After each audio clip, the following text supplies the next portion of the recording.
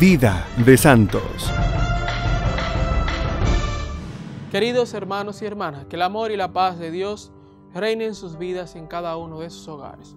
Hoy 22 de marzo la iglesia nos presenta como modelo de santidad a San Epafrodito, colaborador de San Pablo.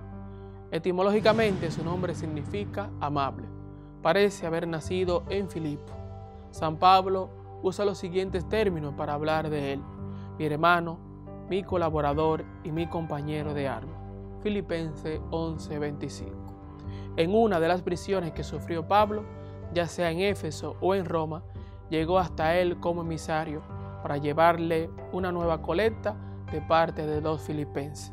Y no solo eso, sino que trae su propia ayuda personal y su disposición para colaborar en la evangelización.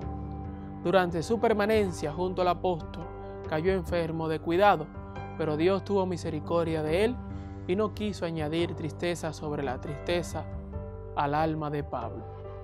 Los mismos filipenses, al saber que su emisario había estado enfermo, ardían en deseo de volverlo a ver.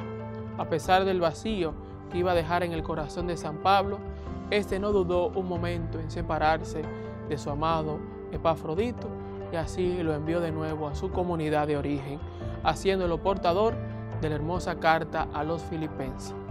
La figura de Epafrodito, el colaborador amable, ha llegado a nosotros como la del mensajero fiel. Epafrodito es un modelo silencioso para los miembros de las comunidades cristianas de hoy en día.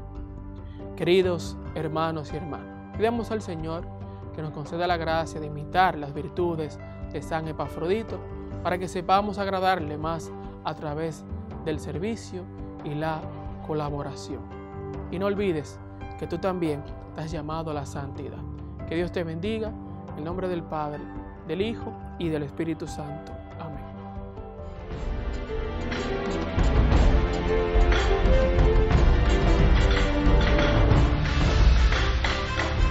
Vida de Santos.